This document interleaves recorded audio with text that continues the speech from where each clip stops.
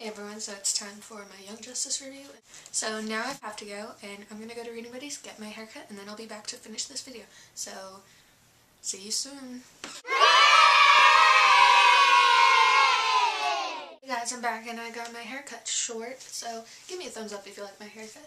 So, first things first, they give us a bit of the last episode of season one, and then they go right to Clayface, as I have written down here. And first things first, we now have Tim Drake in the series. We've also got Beast Boy, Blue Beetle, and we got uh, Wonder Girl, Batgirl, and two other characters I don't know the names of. And Miss Martian has new hair now, and Dick Grayson is now Nightwing. And yeah, and what's really sad, there's no more Super Martian. This was the worst thing ever, because they were just Just so cute. Why did they have to do this to me? anyway, gonna try and continue. Um, we have Lobo here. Um, and then we had Wonder Girl and Batgirl fighting him, which was pretty epic. It was like girl power.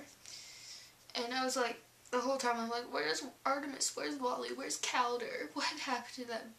Is Wally now the Flash? Did Artemis become Tigress? And just what happened to Kaldur? Or are they just not in the first episode? Um, and then G. Gordon. I don't trust him at all. There seems to be something not right with him. And so Zatanna and Rocket are now part of the Justice League, but Dick, M'gann, and Connor aren't. And so in the Watchtower they had part of the original team, you know, part of the original eight. You know, Rocket, Zatanna, um, they had Superboy, M'gann, and Dick Grayson all there, but they didn't have Artemis, Wally, or Kaldur. And the six leaguers that went missing during the 16 hours, they were doing crime in outer space. And now they've got Dick being the team leader for the Young Justice team. And I don't know what the name of the fish guy is, but he's kind of weird. And we saw Blue Beetle talking to himself, like himself, but really he was just talking to like the scarab that is part of him now that acts as his bodysuit. He was talking with that.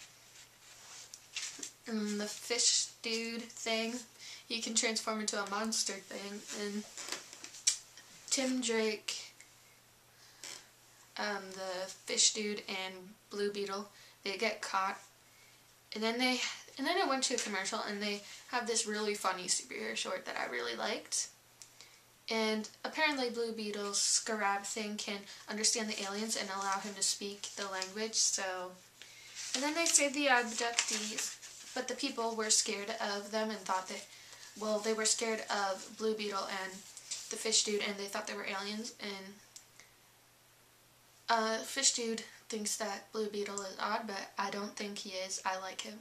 Then there was a huge explosion, and the League came to visit them after they finished their mission, and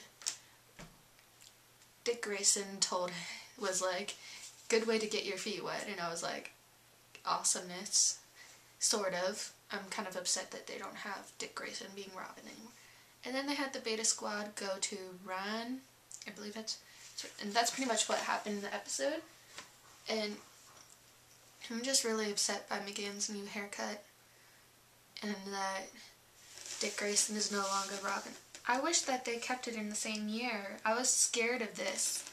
But I'm still going to watch this show because hopefully they'll still have Wally and Artemis, right?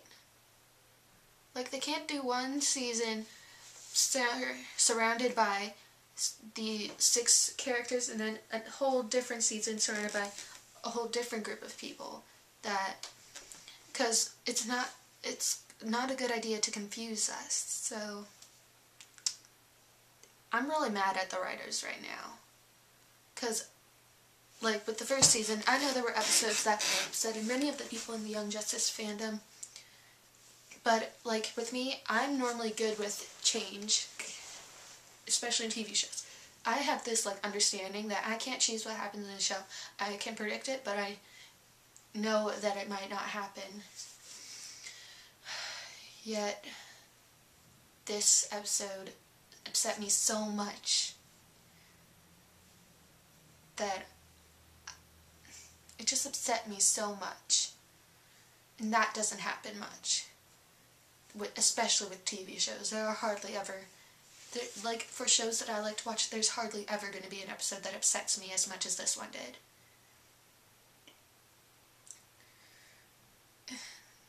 It's five years later. Who knows what happened to Wally? Who knows what happened to Artemis? Who knows what happened to Kaldur?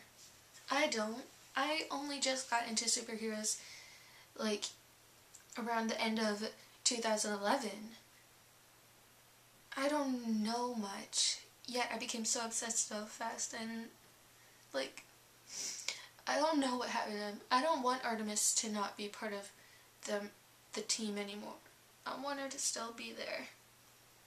I'm just hoping that she didn't like go off and become Tigress or anything because that'd be the worst thing for me.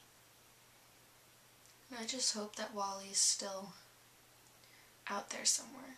I hope that Barry Allen didn't disappear yet. It would be like the worst case scenario for me.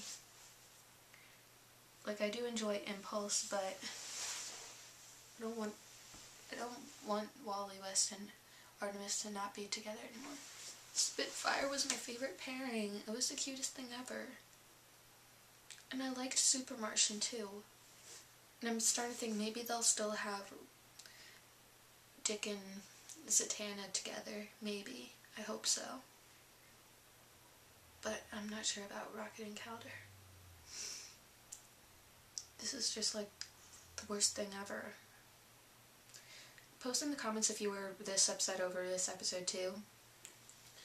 And tell me if you would like me to discuss anything more on Wednesday. Like if there's any topics that you would like me to discuss more on Wednesday, let me know and I will. But yeah, so subscribe above M'gann's head. Go to my channel page above Artemis's head and you can see what I'm doing every day. And yeah. And leave a comment below. Give me a thumbs up if you like this video.